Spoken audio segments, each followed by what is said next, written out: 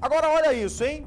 Autor de furto, ou seja, esse cidadão cometeu um furto lá nas Minas Gerais. E aí o que, que ele fez? Fugiu para o Mato Grosso do Sul. Só que chegou aqui, não conseguiu ir muito longe não. E ó, o carro que ele furtou foi pego em Minas Gerais. Foi furtado em Minas Gerais. Ele foi pego em Paranaíba. Para onde será que esse cidadão estava tentando ir, hein?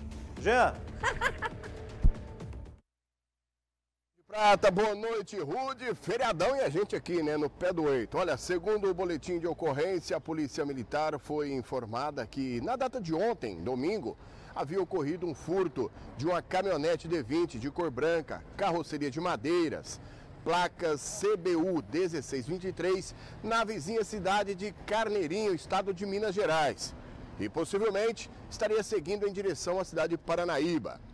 Diante das informações, por volta das 23 horas e 30 minutos, uma equipe de força tática da Polícia Militar, a qual estaria realizando patrulhamento e fiscalização na estrada do Antigo Lixão, seguiu em direção à Ponte Alencastro.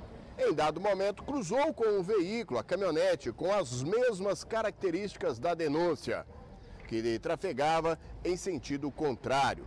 Os agentes então retornaram e iniciaram ali o acompanhamento tático. Quando em frente a uma propriedade rural, o autor veio a colidir com a caminhonete na cerca da fazenda e abandonou o veículo, saiu correndo em direção à mata.